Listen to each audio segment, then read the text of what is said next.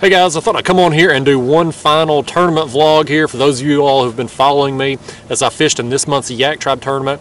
I went into that last week there with a, a, chance to win it. I was in contention and I just crapped out in that final week. I fished last Tuesday, Wednesday, and Thursday and I needed I needed really to improve on all six of my underslot fish, the fish that had to be 24 inches or less.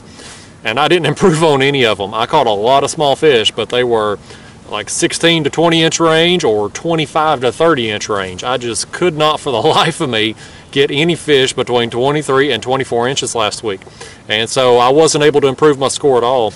And it cost me. It cost me pretty big. I ended up dropping, I think uh, going into last week, I was in second place. I ended up finishing in fifth place, which, you know, out of 73 people, fifth place isn't too bad. But as far as, as the prizes go, going from second down to fifth, it, it really cost me a lot. And the biggest kick in the gonads was the fact that I got docked part of my score there on my uh, my biggest fish of the tournament because the picture was blurry. And the guy who finished ahead of me in fourth place beat me by half an inch.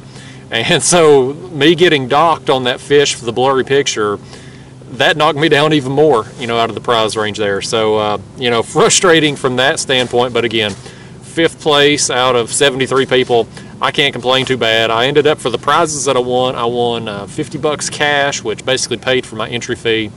I got an NRS tackle bag, uh, which I don't really have a use for, but it's a nice bag. I'll turn around and sell that thing uh, for a profit. I got a uh, uh, Gator Guard $75 gift card. That's a uh, company, they make keel protectors for kayaks.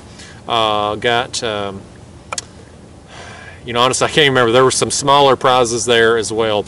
But, uh, you know, all in all, it was a good month of fishing for me. I got some good fish throughout the month.